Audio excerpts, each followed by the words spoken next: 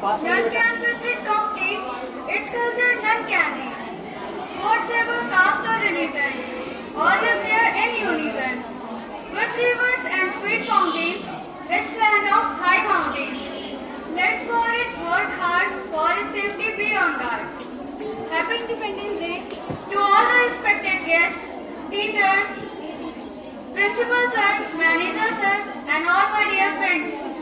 I am Ananya Shukla from class 7. You all are aware with that today is our 78th Independence Day and we are gathered here to celebrate it. Because of this day, our tricolor is fluttering with proud in every corner of our country. This is the day which realizes us the value of freedom. It teaches us to fight against oppression and slavery. Is not just a date, but a day of pride for every Indian.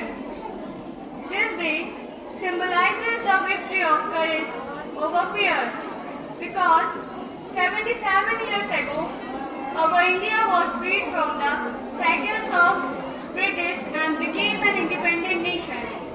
Today, we remember the countless sacrifice of our freedom fighters who fought with valor and conviction. We salute the unsung heroes who contributed to our struggle for independence. We honor the visionaries who saved our nation's future.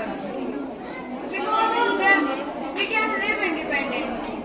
Their bravery and selflessness paved the way for us to live independent.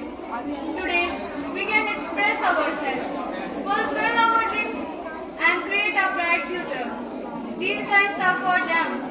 Independence was, for the achieved at a considerable price. We can't disregard our freedom fighters' sacrifice.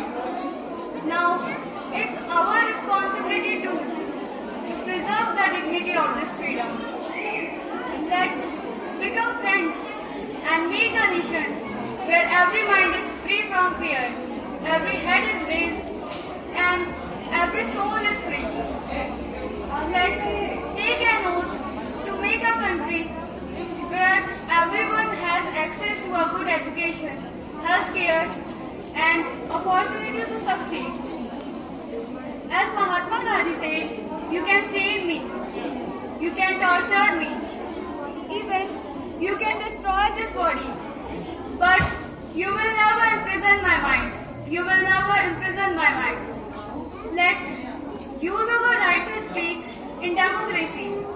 Let's stand for the truth and make a just society.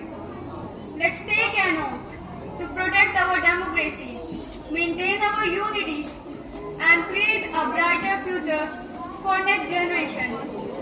I would like to end my speech with these lines. Carry it with care, put it with pride, dipping in love, fly in glory, movement of freedom in the shade of joy. Proud to be an Indian, all the guys.